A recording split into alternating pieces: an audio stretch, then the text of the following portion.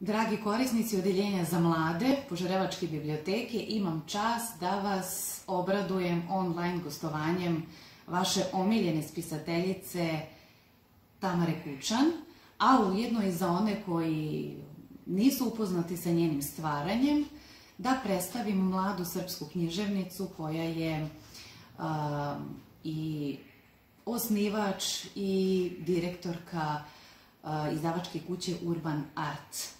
Tamara iza sebe ima 13 romana i članica je Udruženja književnika Srbije. Ovom prilikom čućemo njena razmišljanja o umetnosti pisanja i o bavljanju tim poslom. Pre svega, hvala na pozivu da budem deo vaše online manifestacije i ovog, ove serije književnih večeri. S velikim zadovoljstvom sam se odazvala i nadam se da kada sve ovo prođe imat ćemo i neko offline uživo druženje.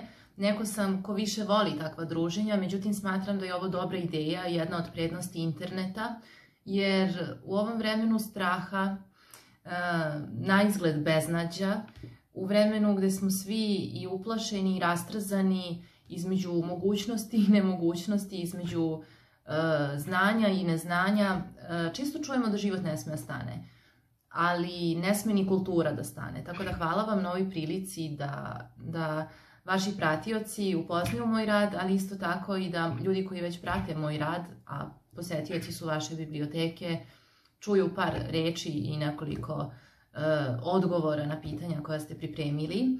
Isto tako, smatram da je ovo dobra prilika i početak jednog lepog prijateljstva između mene kao autora i izdavača i vaše biblioteke, tako da još jednom hvala na pozivu, neizmerno sam srećna što sam deo ovog projekta. Opišite nam ukratko vaš put od Požarevca do Urban Arte. Zanimljivo pitanje. Kakav je moj put od Požarevca do Urban Arta?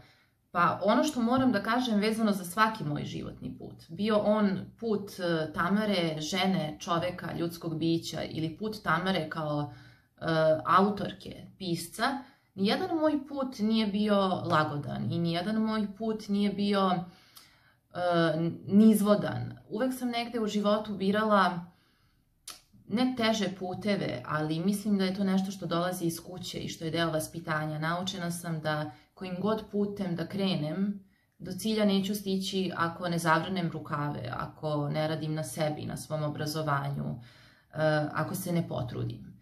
I iako postoje možda za neke stvari u životu lakši načini, uvek sam birala da do cilja dođem borbom i predanim radom, jer jedino tada je pobeda i dolazak do cilja imalo smisao. E sada, ono što ljudi ne znaju o meni, jeste, mislim, neki znaju, ali jako, jako malo ljudi, ne znaju da sam ja zapravo rođena u Požarevcu.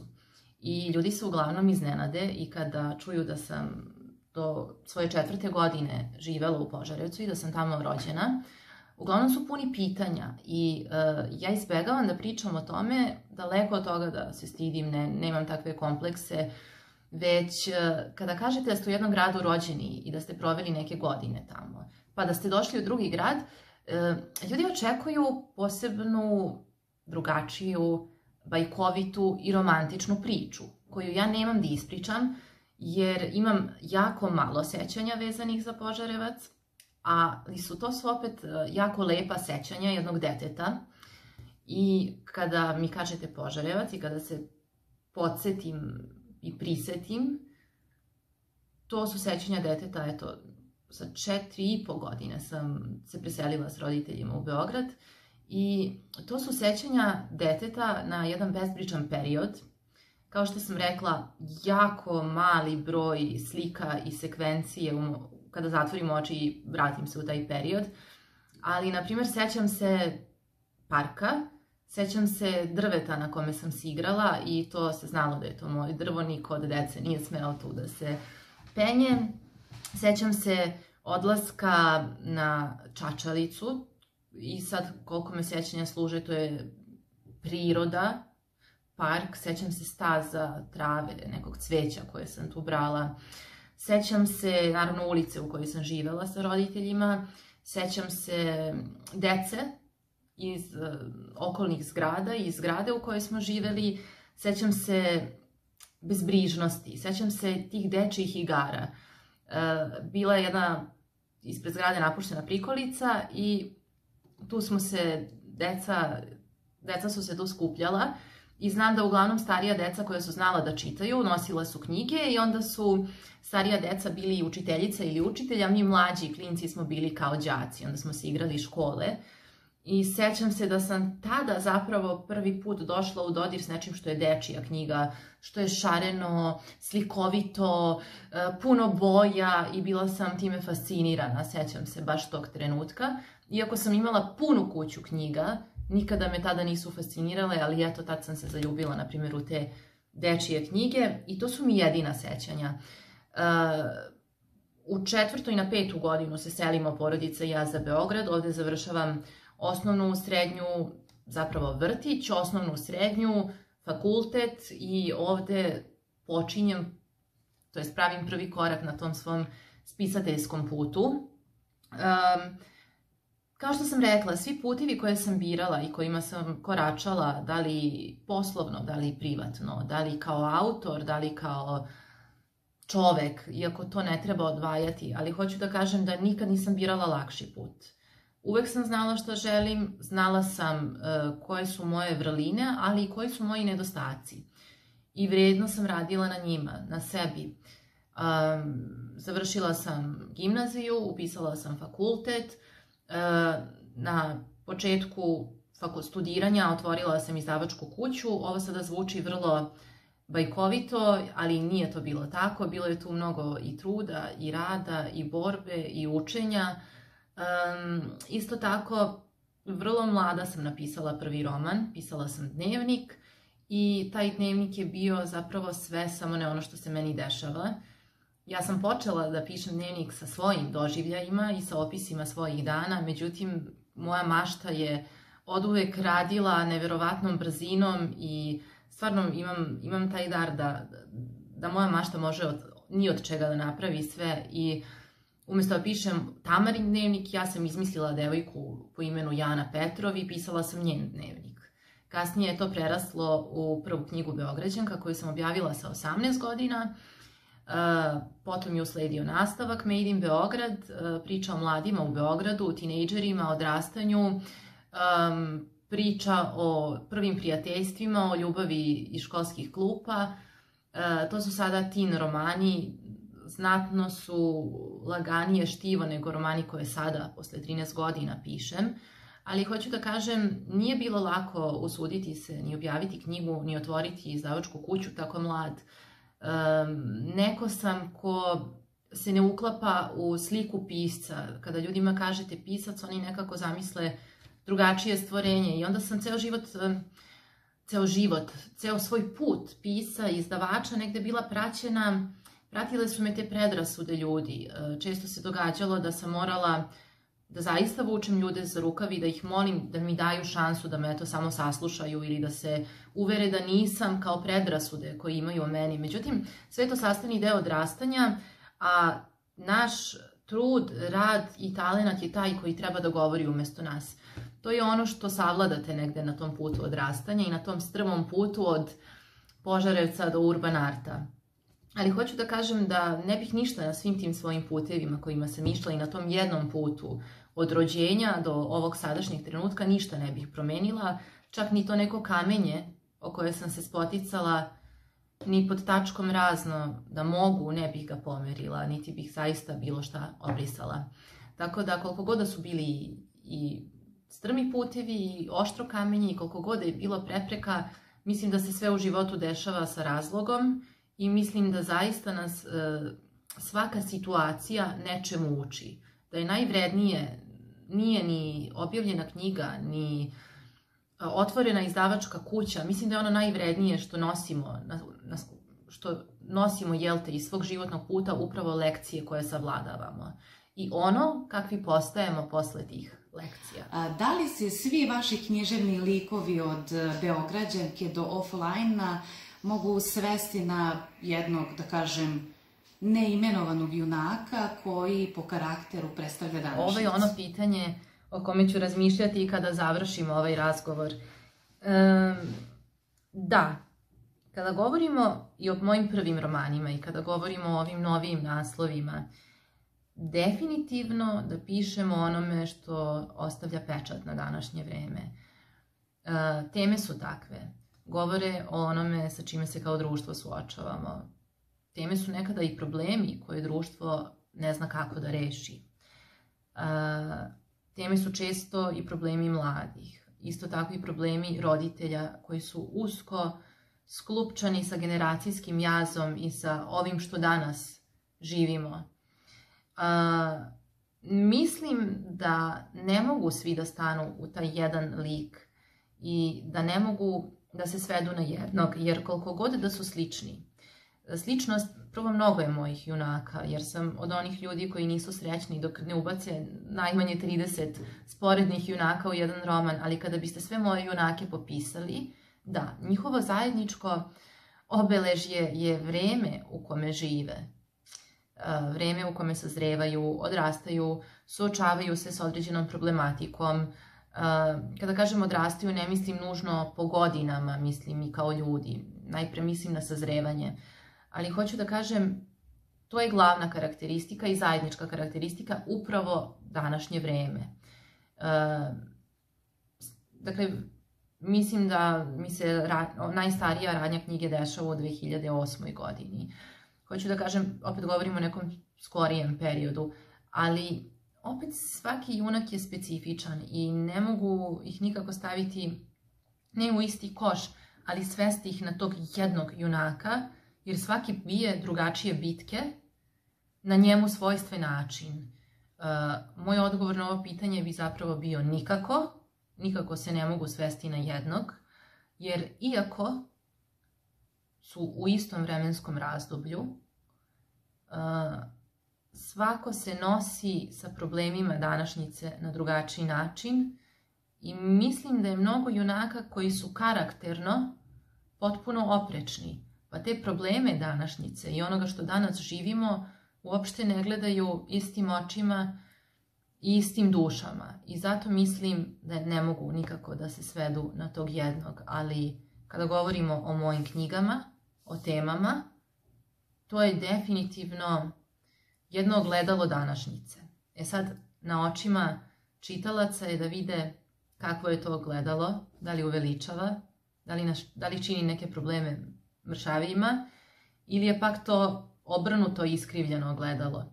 To je nešto što uvijek ostavim čitalacima, ali definitivno ogledalo današnjice s tim što svaki junak je priča za sebe, iako je prisutan u tom trenutku današnjice.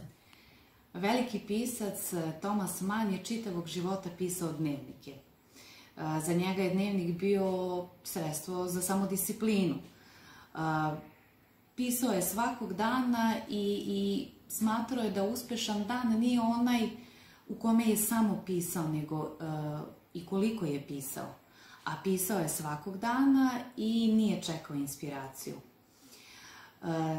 Da li smatrate da je za pravu umetnost dovoljan samo talenat? Da li pišete svakog dana? Koliko pišete? Zapravo, kako izgleda vaš radni dan? Da li je talenat dovoljan za umetnost? Pa, iskreno, poznajem mnoge ljude koji stvaraju umetnost i koji su jako talentovani, ali nisu ažurni, nisu vredni, e, ne trude se da sve svoje e, momenti inspiracije stave na papir, prosto rečeno nisu disciplinovani. E, naravno da je talenat dobro imati i nužno i nešto podrazumevano, ali svaki talenat, ovo je već jedna kliša rečenica koju čujete u svim oblastima, ali zaista tako mislim da talenat na kome se ne radi i talenat kome se ne posvećuje pažnja, talenat o kome ne vodite računa i ne brinete, ne razvijate ga, e, mislim da je to talenat koji polako umire. Mislim da je svemu u životu, pa čak i talentu, potrebna disciplina. E sada govoriti o tome šta je, da li je nešto umetnost ili ne, samo zato što posjeduje talenat, pa definitivno ne. Imate mnogo talentovanih mladih ljudi koji će napisati sjajnu pesmu, ali to ne znači da taj pesma je umetničko delo. Naravno, tu dolazimo i do jedne neizbježne teme o tome šta je zapravo umetnost i ko postavlja kriterijume i po kojim kriterijumima rangiramo umetnost, ali ako pođemo od onog osnovnog da je umetnost nešto što treba da izazove u nama emocije i nešto lepo, onda možemo reći, ali mislim da kada govorimo o umetničkom delu koji će zaista dostavi pečat i trag u bilo kojoj oblasti kulture, definitivno talenat nije dovoljan. E, smatram da ljudi koji nemaju talenat nikada ne mogu veštački razviti talenat, mogu uvežbati kako da pišu određenu formu, kako da nešto stvore, ali mislim da nedostatak talenta nikako se ne može veštački izgraditi. Isto tako mislim da e, ogromna količina talenta, ukoliko nije usmerena na stvaranje, na kreativnost, ukoliko nije usmerena na, ukoliko nije disciplinovana i ukoliko je samo zaljubljena u sebe i, se, i samo sebi dovoljna ta količina talenta, smatram da to je pogubno za talenat. I smatram da je to jedan od sigurnih uh, načina da talenat izumre. Svaki talenat zahteva vežbu, svaki talenat zahteva rad i ono najvažnije, svaki talenat zahteva disciplinu. Ja sam neko ko da se sad vratimo na, na drugi deo pitanja, ja sam neko ko piše svakog dana, ali to ne znači da sedim sa laptopom i da zapišem bilo koliko, koliko god reči. E, za mene je pisanje i razmišljanje o onome o čemu ću pisati. Za mene je pisanje i stvaranje neke nove ideje koju ću pisati kad budem bila pri laptopu ili pak e, razvijanje dijaloga u mojoj glavi koje će junaci pričati ili razmišljanje o tome kako će određeni junak postupiti u određenoj situaciji ili ko će od junaka biti glavni osumnjičeni i ko će napraviti obrot u romanu. Tako da pisanje nije samo sedenje za laptopom ili nad papirom, pisanje zahteva i promišljanje o onome što stvarate i kontinuitet, što je jako važno i to najčešće govori mladim autorima jer radeći u Urban Artu kao urednik i baveći se izdavaštvom, zaista imam dodir, dodira sa velikim brojem tekstova mladih autora. I ono što najčešće primećujem to je taj e, gubitak kontinuiteta, to se oseti u priči, to čitalac vidi, vidi drugačije raspoloženje autora, vidi fokusiranost autora koja je na drugačijem nivou. Isto tako moram da kažem da se primeti i nedostatak discipline. Disciplina je važna posebno kada govorimo o romanima, o pisanju neke duže forme. Uh, nemam iskustva s pisanjem poezije, verujem da najbolja poezija nastaje u cugu, ali kada govorimo o pričama i o romanima, kada govorimo o nečemu za što je potrebno duže od jedne noći stvoriti, mislim da je disciplina kontinuitet nešto presudno. Uh, moj radni dan izgleda tako, uglavnom se trudim da, da dopunim odgovor na ovo prethodno pitanje, Uglavnom se trudim da svakog dana pogledam tekst na kome sam radila pre dan ili dva. Ali definitivno za mene to više nije disciplina ili obaveza. Posle 13 godina pisanja za mene je to postao ritual i svakodnevica i mislim da je to dobar način da ostanem u kontaktu sa tekstom, sa idejama, sa nekim možda idejama koje su sinule, ali sam zaboravila da ih napišem.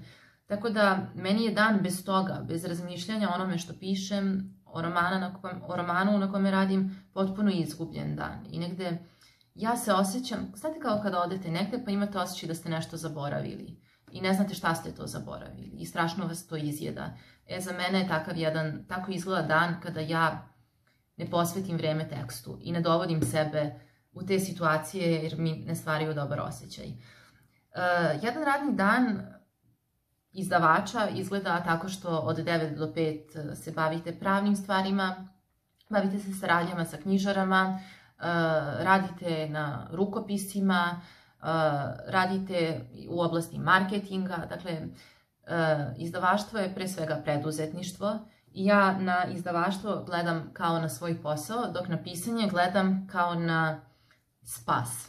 Kao na, kao na spas, kao na strast, i kao na nešto što je meni ventil, beg, e, sloboda. u 9 počinje radni dan, do 5 traje, nekada do 6, nekada do 7, u zavisnosti šta se sve dešava, da li imamo neko novo izdanje.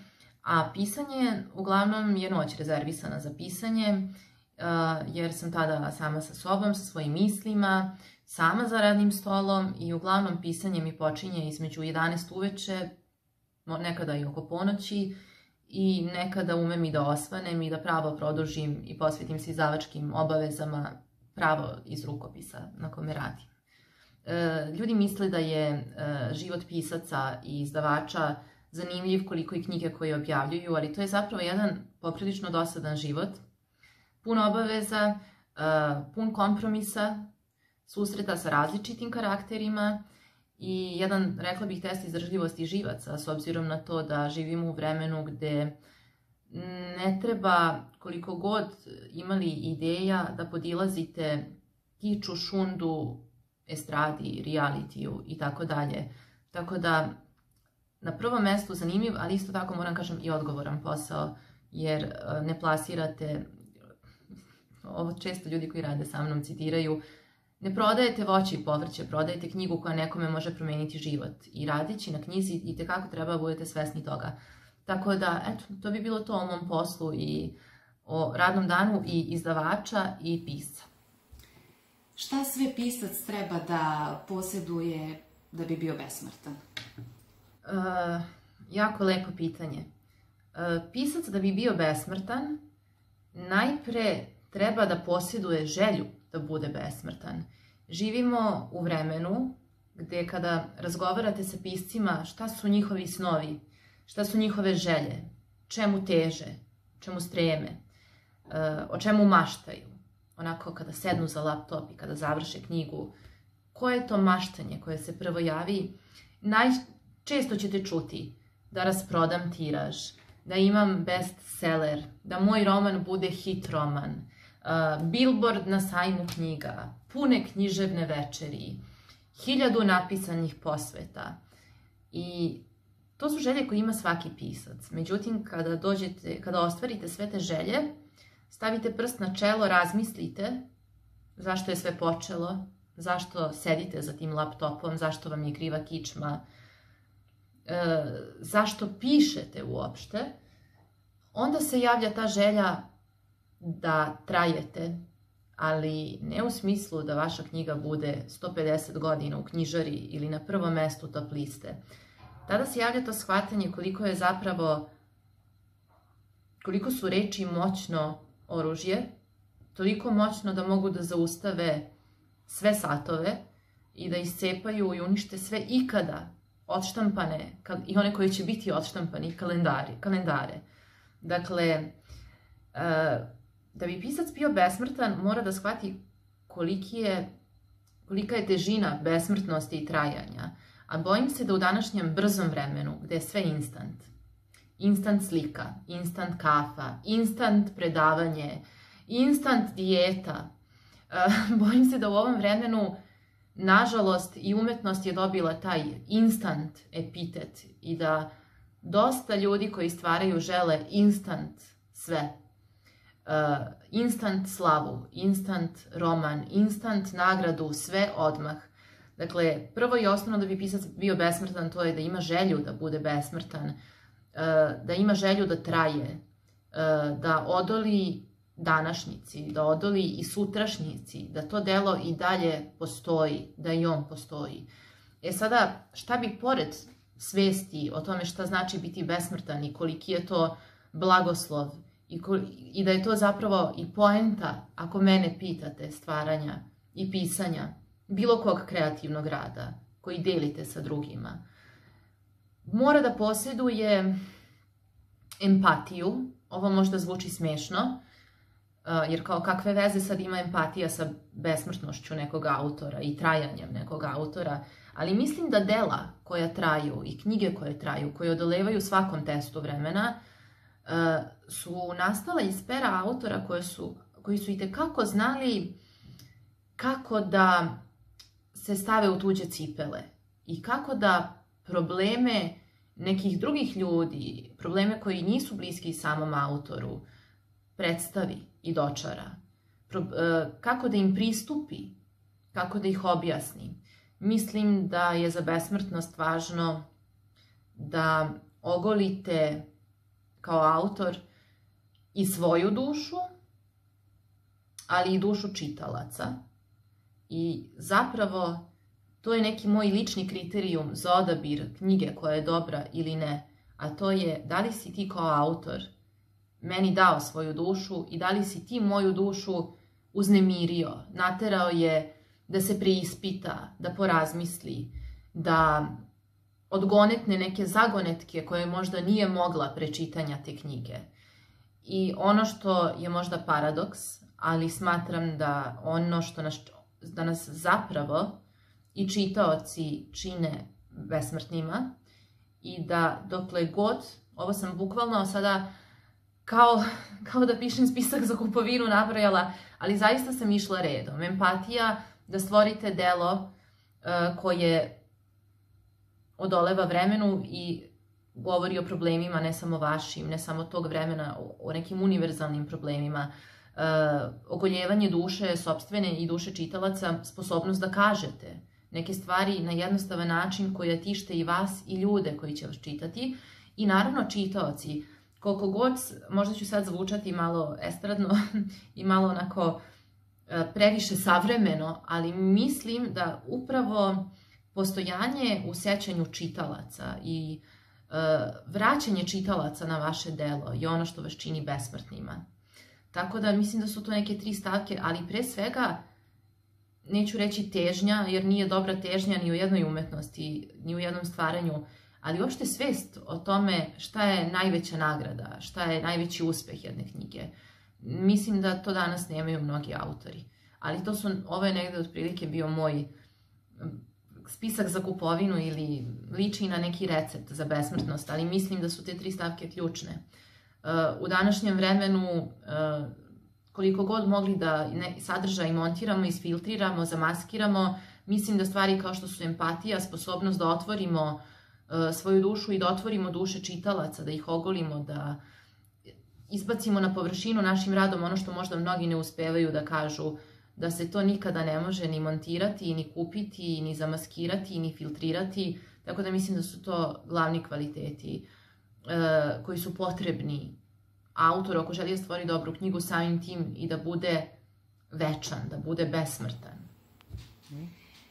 Delo engleskog pisca Ballarda je dokaz da je potrebno živeti pre pisanja. Zapravo pre nego što je objavio svoju prvu kratku priču krajem 50. godina 20. veka, on je već bio preživeo rat i odvojenost od roditelja, preživljavanje u logoru. Jedno vreme je bio i u kraljevskom vazduhoplovstvu, Zatim, jedan deo života je i boravio u Kanadi zbog posla, a i prodavao je enciklopedije i bio nosač u marketu. Znači, čitavo njegovo delo je preplavljeno onim što je radio pre nego što je seo za pisaću mašinu. Dakle, ima ljudi koji su talentovani, daroviti za pisanje, imaju smisla za pisanje, ali se to vidi u njihovom stilu, a zapravo nemaju šta da kažu, zato što su u životu ničim nisu bavili osim pisanjem. Koliko je vaše životno iskustvo uticalo na stvaranje? Pa, jedna od večitih dilema i nešto o čemu često razmišljam, s obzirom na to da ako za nešto kritikujem sebe, to je upravo, rekla bih, stavljanje pisanja na prvo mesto, pa tek onda život. I to je nešto što sam obećala sebi da menjam. Mislim, to stalno obećavam sebi, ali je činjenica da je pisanje uvek bilo i bit će prioritet. To znači da kada mi ponudite nešto što želim da proživim, uh, na primjer neku plažu o kojoj maštam, kada biste mi to stavili na jednu stranu kao opciju 1, kao prvi izbor i kada biste mi ponudili, na primjer, hajde da kažemo nešto iz nekog od romana koji sam, kada biste mi ponudili moju junakinju Strelu Blaj koja prvi put sreće Ognjena, iskreno, bila bi to dilema, ali bih izabrala najiskrenije. Znam da je ovo mnogima čudno i znam da 99,9 pisaca verovatno ne bi ovo reklo, ali bez ikakvog, bez ikakve lažne skromnosti, bez ikakve potrebe da se bilo kome dodvorim, zaista je tako. I negde kad pogledate moje rezultate, ostvaren uspeh romana i uopšte, samo kad pogledate broj stranica koliko jedan roman ima, jedan je imao čak 702 stranice, e, mislim da vam je jasno šta ću odgovoriti, a to je da bih izabrala da moja junakinja sretne ljubav svog života nego da Tamara ode na plažu. Jer Tamara će moći da ode na plažu više puta, ali tu ideju koju ima u tom trenutku i tu inspiraciju, to nadahnuće, tu potrebu da to napiše, da ispusti dušu na toj sceni, da, da stvori te redove, da zaljubi dva čoveka, to neće imati uvek. Plaža će uvek biti tu i kada Tamara i u avgustu mesecu i oktobru i kada Tamara bude imala i 30 i 50 godina, ali ta jedna ideja, to nadahnuće, nikada više neće doći u takvom obliku. I to je moj najveći strah sa idejama, to je da li ista ideja, ako joj se ne posvetim odmah, to nadahnuće koje nastane i ta ideja, da li će, ako ih stavim na pauzu, da li će u istom intenzitetu postojati posle te pauze? Tako da, možda nisam najkompetentnija da dam komentar i na ovo, sve što ste ispričali, ali i na ovo pitanje, iz prostog razloga što uvek sam birala pisanje, jer mi je za razliku od života uvek i sigurno i zagarantovano donosilo i sreću i katarzu. Ne volim tu reč, mislim da je danas mnogi prečesto koriste, ali nikada, nikada posle pisanja nisam bila ni razočarana, ni tužna, ni nesrećna. Naprotiv, srećna i ispunjena, pa čak i kada sam pisala najpotresnije scene u romanu. Ali mislim da je važno životno iskustvo. E, to ne znači da ako imate 18 godina ne možete da napišete dobru knjigu. E, to ne znači da sa 30 godina ne možete da napišete dobar istorijski roman. E, mislim da je životno iskustvo važno ne za stvaranje ne za samo pisanje, koliko za naš od... ne za, kako bih sad rekla, da ne odem u potpunu konfuziju, ne uh, za ono što pišemo, već za način na koji pristupamo stvaranju. Upravo životno iskustvo, to je jedno od prethodnih pitanja u kome smo pričali o disciplini, o kontinuitetu koji je važan za pisa. To je nešto što, što stičete životnim iskustvom disciplinovanost, kontinuitet, odnos prema radu, odgovornost prema onome što stvarate, odgovornost prema čitaocima, ali mislim da i kako e, može mlad čovek sa malo životnog iskustva da napravi fantasti, da napiše fantastičan roman, da osmisli fantastičnu priču. Možda je ne može realizovati kao neki iskusniji pisac ili kao neki, neki čovek koji ima toliko životnog iskustva, ali opet mislim da u toj večitoj borbi život i pisanje, životno iskustvo i pisanje, uh, istina je negde na pola puta. I, i tačan odgovor je na pola puta, a na pola puta se nalazi nešto što je često zanemarivano, a to je mašta. I ja znam mnoge ljude koji žive jedan aktivan život, susreću preko stotinu, ne u ovom periodu sad, ali u globalu, zaboravimo da je korona, pa sad pričamo o životu pre korone. Susreću stotinu ljudi, čuju stotinu priča, posete 30 mesta u 7 dana, iako imaju izvanredno životno iskustvo, ne bi mogli da napišu dobru priču.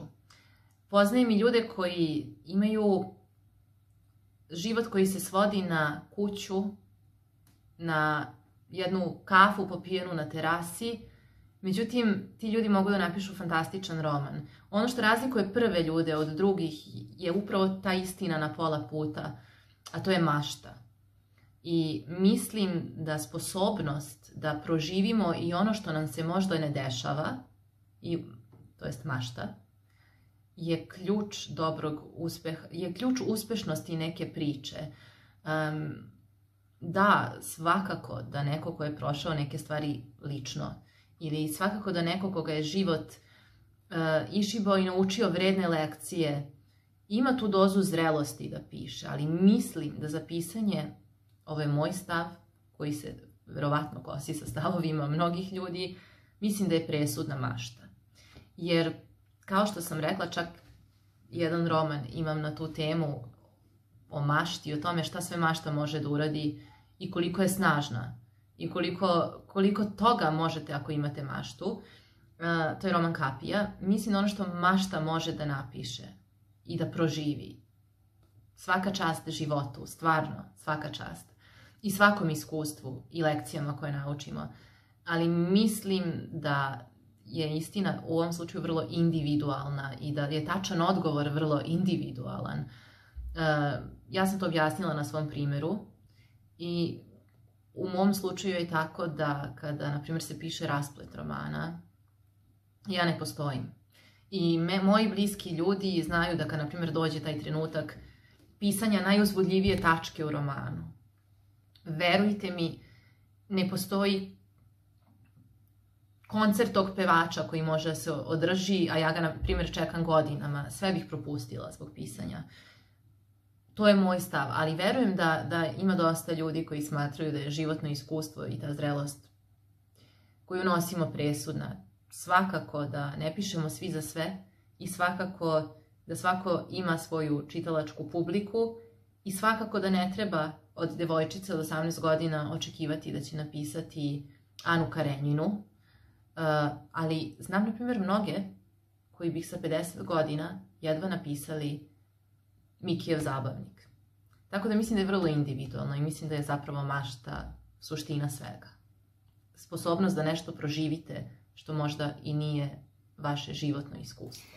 A, da li treba udovoljavati čitaocima ili pak biti a, originalan bez obzira na publiku?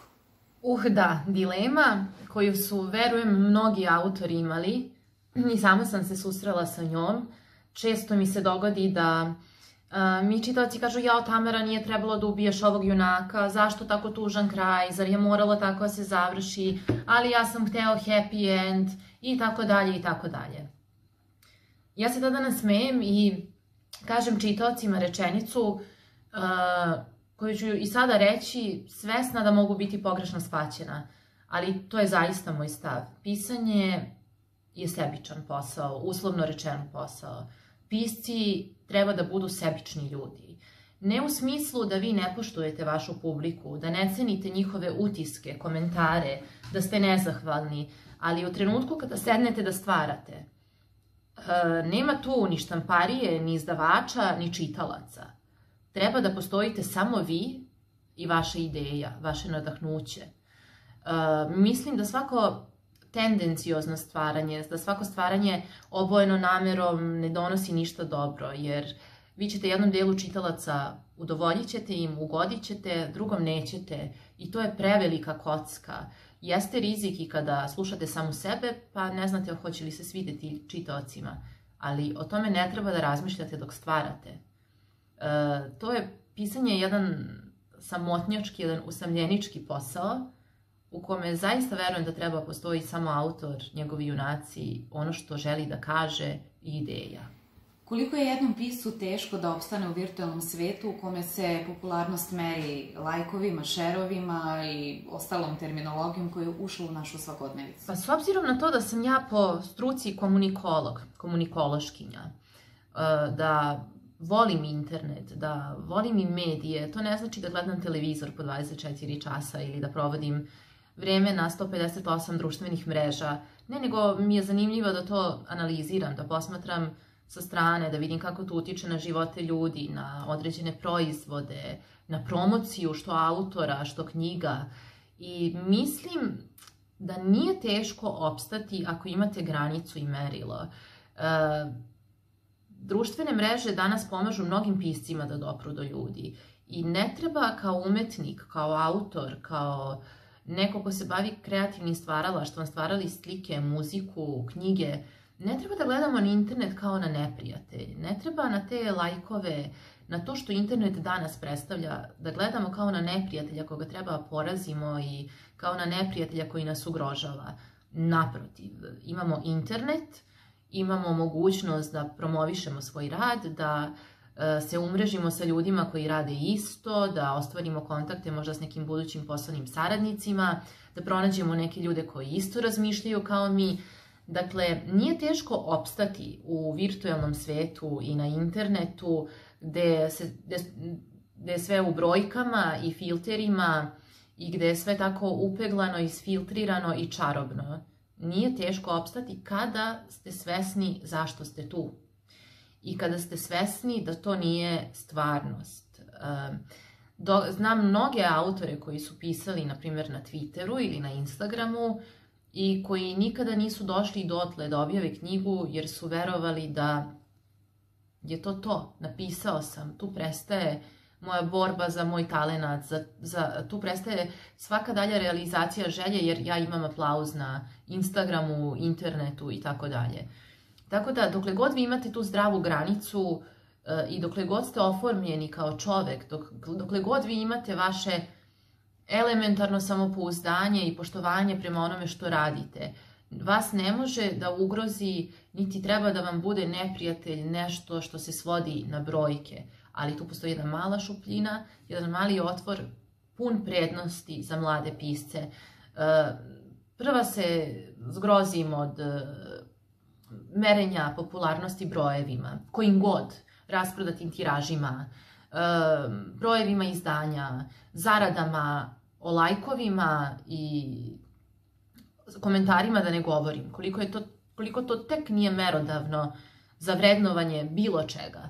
Ali mislim da internet i tekako može biti koristan za mlade autore, pa ne samo za mlade, uopšte za autore. Drugo, pogledajte sada ovu situaciju. Ovo je idealna prilika da internet iskoristite da radite na sebi, da naučite nešto, toliko je radionica kreativnog pisanja, toliko je zanimljivih dokumentaraca, možda o nekoj temi o kojoj želite da pišete. Tako da verujem da internet ima i svoje prednosti, ali da i tekako treba da imate tu svest da se vreme koje potrošite na internetu ne vraća. I ako birate da ga trošite na sadržaj koji vas ne izgrađuje kao ličnost, vas neće obogatiti mentalno, onda zaista internet ni ne treba koristiti. Onda gubite vreme drugačije, prošetajte zdravije je ali internet može biti zaista, zaista dobra stvar. Koje savremene pisce rado čitate? Ako izuzmemo uh, rukopise mladih autora koji pristižu na mail izdavačke kuće Urban Art, uh, i ako odbijemo svo to vrijeme koje odlazi na čitanje, rukopisa neobjavljenih autora, možda jednog dana velikih pisaca, i ako, imam, ako pogledamo to malo vrijeme koje meni, nažalost, zbog izdavaštva ostaje za čitanje, i to me onako, evo iskreno, ruku na srce frustrira, jer što duže sam u ovom poslu i što duže radim na knjigama, sve manje i manje meni ostaje vremena za ono što bih ja pročitala i poprilično pažljivo biram šta čitam. Smatram da nema loše knjige, smatram da sve trebate pročitati, da na svaka knjiga može nešto naučiti, pa makar nas i ta knjiga razočarala, ali nažalost zbog nedostatka vremena pažljivo biram šta čitam. Ne, nisam taj ja takve ljude zovem književni snobovi koji tačno znaju šta je provereno i dobro. Ne, ja da imam vremena čitala bih sve što mi padne pod ruku, ali zadnjih godina najčešće sam usmerena na čitanje trilera i, sa, i sama sam skrenula u taj žanr nekako, nekim čudom i volim da pogledam šta to rade što domaći autori, što strani. Negde je to bio Ju Nesbe i želela sam silno da iščitam sve knjige koje su kod nas prevedene. Tu je naravno i karizima da prednost svakako ide za UNSPA. E, sada sam se vratila zadnjih meseci na Stephena Kinga, njega sam čitala u nekim godinama puberteta i potpuno je drugačiji doživljaj kada ga čitate već kao pisac koji je stekao izgradio ime i ima iskustvo u pisanju. Sada mu zaista skidam kapu, čak i za neke knjige koje mi se nisu nekad dopadale. Uh, uglavnom, thriller pisci i recimo uh, zadnji meseci, meseci karantina, to je bilo, na primjer, čitanje Kobena. Eto, to, to su neki autori koji su aktuelni u mom čitalačkom životu pa zadnjih godinu do dve dana. Mi nastavljamo saradnju sa izdavačkom kućom Urban Art, a vi čitaoci očekujte nove naslove. A za kraj, citirat ću našu gošću, čovek može sve što zamisli.